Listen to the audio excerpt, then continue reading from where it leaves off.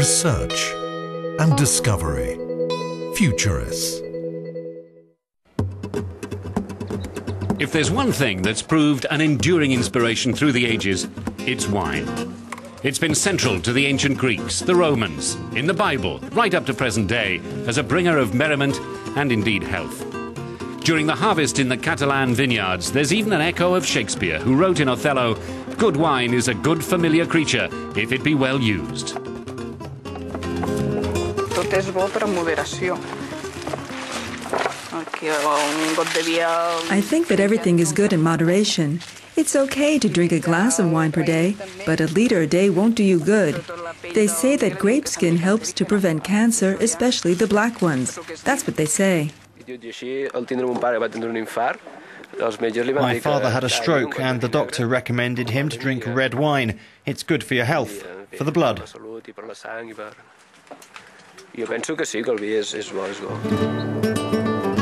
Research has already linked red wine's health giving properties to the antioxidants it contains. They help to prevent certain illnesses by destroying the free radicals which cause chemical damage to cells. That appears to be one of the reasons that wine drinking countries have such striking low rates of cardiovascular disease. Here in these barrels, we keep all the red wine, the factor behind the so called French paradox. That is, the French, while having the same diet as other Europeans, live longer and healthier because they drink red wine as a fundamental part of their regular diet. Wine, and particularly red wine, has a high content of polyphenol antioxidants, or tannins, as much as 2 to 3 grams per litre. But wine can't absorb all the health preserving elements which exist in the grape. Most of the antioxidants are left behind in the so called pomace. That's the waste skin and seed which is thrown away after pressing. This is pomace, the residue of winemaking. It's wet, as you can see. One possibility being studied is to use what's left of the grapes for cosmetic products. There are several research projects in this field, especially regarding red and black grapes, because they contain lots of antioxidants, which are very good for skin preservation. y estos antioxidantes son muy buenos para la conservación de la piel. Many studies have shown that polyphenols prevent various kinds of cancer. They help in fighting inflammatory conditions like coronary artery disease, and they enhance the immune system. European scientists coordinated in Austria set about extracting polyphenols from winemaking waste in a project called, appropriately, Paradox.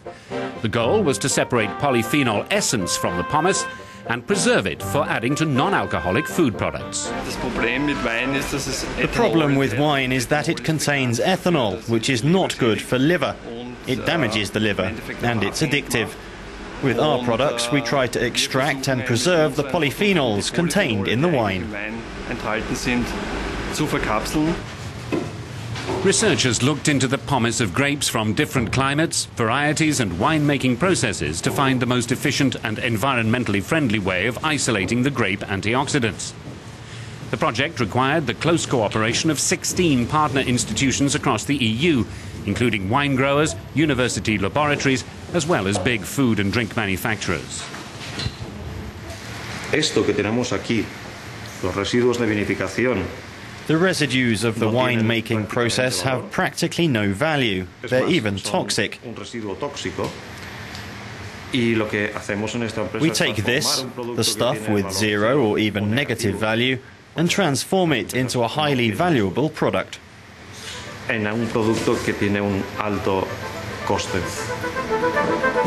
Getting the polyphenol elements out of the grape skin and seeds can be done in the lab with traditional extraction methods using water and alcohol. But for large scale industrial production, scientists suggested using a CO2 separation technique, which is considered greener and more economically viable. This is the result of the extraction process. It's the concentrate of polyphenols and other antioxidants. With this, we can really start the process of microencapsulation. To preserve their antioxidizing properties, the small granules of polyphenol powder need to be protected from any contact with oxygen or light. So the scientists have to cocoon the particles in protective polymer capsules before they can be added to food ingredients. They mix the polyphenol powder with oil and polymers, resulting in myriad microscopic polymer balloons encapsulating the tannin. The result, they say, is a natural, easy to use, and stable food additive they've called Paradox. Once inside the human body, acidic pH levels destroy the polymer shells and the antioxidants can flow into the bloodstream. Wir sehen hier die Mikrokapseln und in diesen Mikrokapseln sind die Polyphenole. Here we can see the microcapsules and polyphenols inside. It's evident that their sizes vary, so when the capsules enter the stomach, they dissolve gradually, and there's a good release of the polyphenol compounds.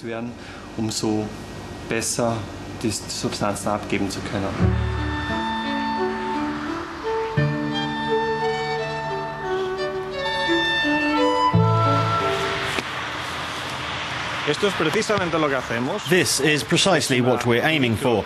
This ball is just like a microcapsule. Polyphenols are inside. And like the air inside this ball, they are protected from the environment. Nothing gets out or comes in. And that's exactly what we're trying to achieve by encapsulating the grape extract. And the research is looking further ahead to develop individual polyphenol formulae to enrich different kinds of food, from muesli bars and bread to dairy products and drinks. But food chemistry experts warn that more extensive research is needed to evaluate fully the recommended dosage and medical effects of various antioxidant additives.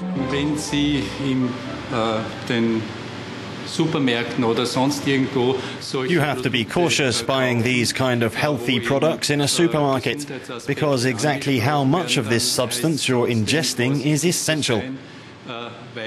It could spell the difference between a positive or a negative effect on your health. Und ob dann eine positive oder negative Wirkung auftritt.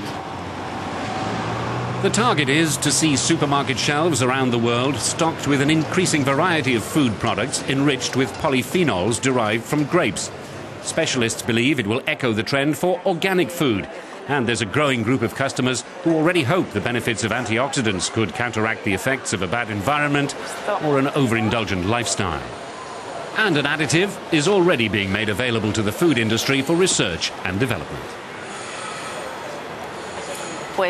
No sabe a nada realmente. Yo creo que sabe más It doesn't have any taste. It feels a little like flour, and it won't change the original flavor of the final product it has been added to. un determinado sabor, en este caso nunca te, te cambiará. In the Bible, it's written, Drink no longer water, but use a little wine for thy stomach's sake. 2,000 years on, and the scientists reckon it's not just the stomach which could benefit.